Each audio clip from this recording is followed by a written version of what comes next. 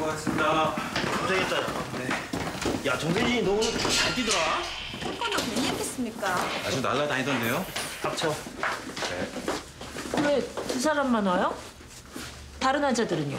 아, 예. 그 인근 병원으로 분산 수용시켜서 건강 상태 체크하고 있고요. 일단 말짱한 두 사람만 데리고 들어왔습니다. 아, 과장님은 수술 환자가 있어서 하원병원에 계시고요. 수술? 누구를?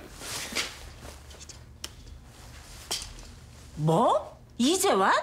이재환이면 태광그룹 둘째 아들이잖아. 하, 미쳤다. 지난 2년 동안 메스는커녕 핀셋 한 번 안 잡아보신 분이 쓸데없는 소리. 유튜브. 예. 아이고 우리 과장님이 어디 남의 일에 목숨 걸 사람입니까? 에?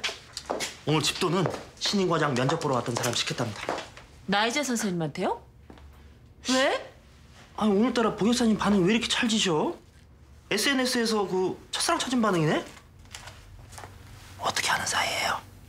나한테만. 알긴 누가 알아요. 아, 한 선생님은 같은 병원에 있었으니까 알지도 모르겠다. 나이제 선생님이라고 알아요? 그 병원 응급의학과 출신이던데. 아, 오 선생, 저 환자 좀 봐줘요. 의사가 환자를 치료하는 게 당연하지 그게 빌 이유입니까? 예? 응급의학과 출신 나이제 선생이요?